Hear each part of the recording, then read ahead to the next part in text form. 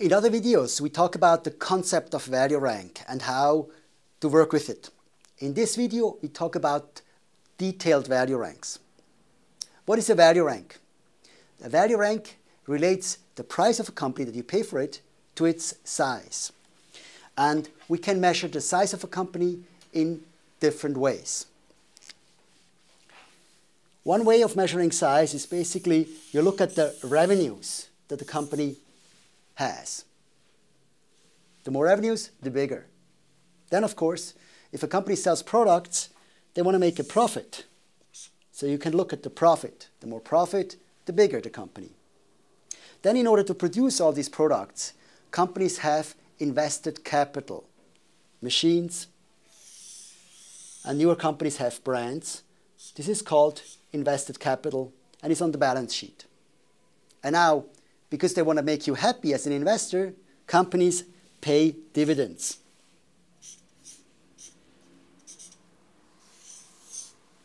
These are the four things where we measure the size of a company. And now we, we relate this to price. This is done like this.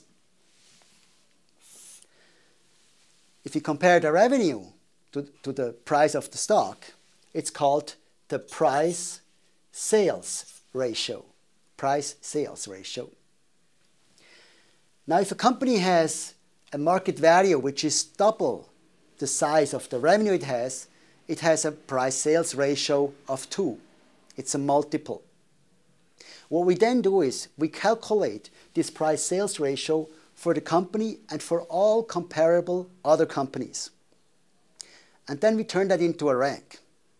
The company with the highest price sales ratio is the most expensive company and gets the lowest price sales rank. And the company that is the cheapest compared to its size gets the highest price sales rank at Obermatt. We do the same thing for invested capital.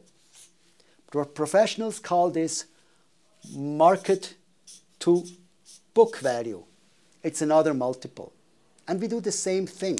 We compare the market to book value of that company we want to analyze to all other companies and calculate the rank of that company. If a company has an average market to book value compared to all the others, it gets a rank of 50. Then we look at profits.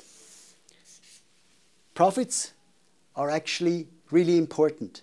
This ratio is called price earnings and is one of the most famous multiples used for stock investing.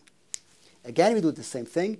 We calculate price earnings for the stock and for all other investment opportunities and calculate the rank.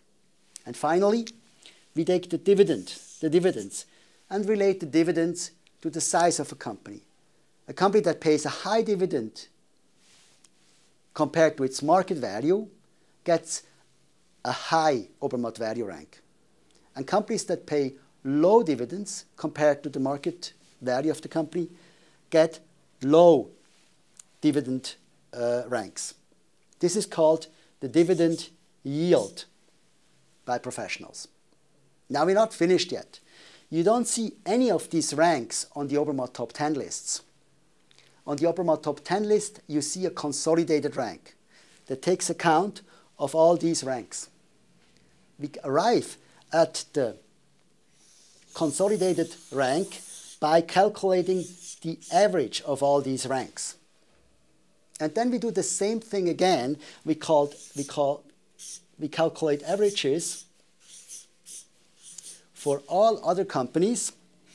And the company with the lowest average gets a consolidated value rank of 1. And the one with the highest average gets a consolidated value rank of 100. So how do you work with those detailed value ranks? I have to give you some basics in finance here, but it's not that complicated. If you look at revenues and invested capital, these ratios fluctuate a lot less than others. They're very stable and therefore very reliable to value a company. However, sometimes they are a little misleading. For instance, when you take revenues, some companies decide to produce everything themselves, and other companies that are comparable may decide to buy products and resell them. They decide to trade. So a company that is more in the trading business than in the production business, even though they're in the same business, has a lot higher revenues than one that decides to produce everything themselves. Also in invested capital, we have problems. First, some companies are very aggressive in how they value their assets. Their assets are bigger than in another company where they are very conservative with their assets and say they're not worth that much. So there may be an issue in comparing companies that are more aggressive with those that are less aggressive. And in addition, nowadays, newer companies tend to have a lot of intellectual property. Look at Google or Facebook. Their assets are not really their machines and computers and networks. Their assets are their brand and the fact that everybody uses them. And this is not reflected in your invested capital. Now we come to the more important ratios, the profit and the dividends. These are actually your most important ratios because at the end of the day, you're buying a company because it makes a profit and pays you a dividend. However, these ratios fluctuate a lot and that makes them less reliable. Let's look at a couple of examples to give you a head start using these detailed ranks. The first case I would like to discuss with you is the crisis case. Every company from time to time goes through a difficult phase. What happens is profits drop and also their reputation. The crisis is typically known. That means their market value drops too. But sales and invested capital are typically not that much affected right away. That means their value ranks in terms of sales and invested capital increase. However, their value rank for profits is, profit is very, very low. Coca-Cola was in such a situation in the 1980s when they introduced the new formula. And suddenly everybody thought Coca-Cola is crazy, didn't drink Coke anymore, and their profits dropped dramatically. However, compared to their size, in terms of sales and invested capital, Coca-Cola must have been really cheap because everybody knew about their problems. That was when Warren Buffett came in and bought the company. And he profited because at the end of the day, profits go back to normal. Now, Coca Cola today is in the reverse situation. I call this the cash cow case. Today, Coca Cola is really expensive compared to its revenues and compared to its invested capital. Even compared to its profit, it's expensive. Only compared to its dividends, it's not that expensive.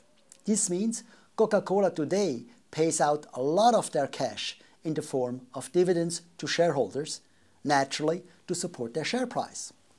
Now that makes me a little suspicious. I think if Coca-Cola doesn't know what to do with their profit and pays it all out to shareholders, I should be worried. And if you find, if you find the reverse case, let's call that the future star case, you could actually be very happy. If you find a company with really good profits but very low dividend payouts, it means that management knows what to do with the money and it could be a good sign to invest. The last case, I call it the balance case, is the one I like most. This is when all four value ranks are in the same direction. They all look good and I feel comfortable investing. You see, the value ranks only reflect the facts and you have to interpret them. This is why you should look at the other videos where, where we explain the value rank concept in more detail and give you even more examples than what you just heard right now.